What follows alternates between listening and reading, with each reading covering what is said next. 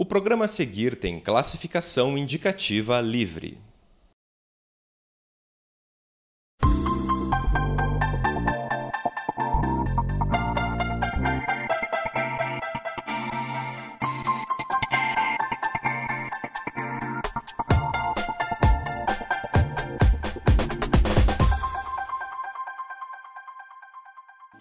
Você já deve ter observado um vagalume circulando à noite, não? Ou visto alguma imagem de um animal marinho que emite luz? Mas como será que eles conseguem? Esse fenômeno é conhecido na natureza como bioluminescência e ocorre quando um organismo vivo produz sua própria luz através de uma reação química. Esse procedimento pode ter várias razões, como acasalamento ou a proteção contra predadores naturais. Mas não é só a natureza que usa o fenômeno da luminescência. Os seres humanos também utilizam esse mesmo princípio em materiais usados para segurança, como avisos de saída de emergência ou placas de trânsito, ou mesmo para criar um efeito visual interessante. Vamos dar uma olhada em alguns deles?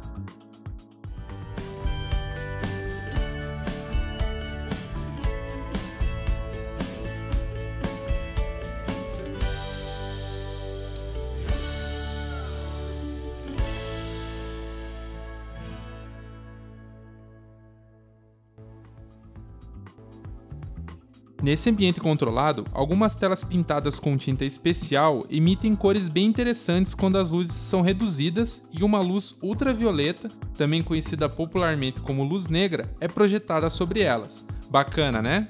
Você pode conferir o fenômeno da luminescência através de alguns experimentos bem simples. Vamos lá?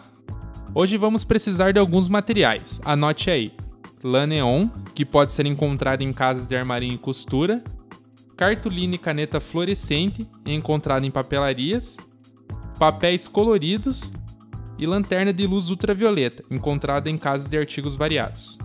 Veja como são as cores dos materiais sob a luz que não é violeta.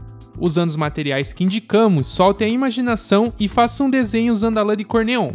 Quando acendemos a luz violeta, tudo ganha uma outra vida. Os materiais reagem e parecem emitir luminosidade. O mesmo pode ser feito usando as cartolinas e a caneta fluorescente, criando recortes e outras montagens que quiser. Super divertido, né? Fique atento, você pode ver mais materiais sobre esse experimento e também a descrição completa no site do projeto Lux. Nosso programa de hoje chega ao fim. Vale lembrar que o Lux é uma parceria entre a UFPR TV e o Departamento de Engenharia Elétrica da UFPR. Semana que vem tem mais experimento, mais ciência, cor e luz. Até lá!